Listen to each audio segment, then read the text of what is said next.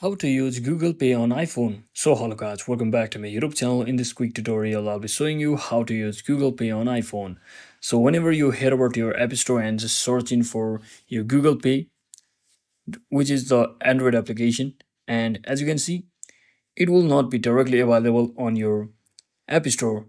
So Next thing what you can do is instead just head over to any of your favorite browser and simply search in for Google Pay just like this and you can just tap on this first link over here that which is the official website of Google Pay. And now you can simply select this setup Google Pay option over here and you can just log in with the account you use on your Android so that you can similarly use on your iphone just like this. As you can see i've already signed into my account. Now you can basically add your payment method which you used to on your apple device that is your iphone from your wallet so you can just add all of the or transfer all of the details inside the google chrome. That is your google wallet.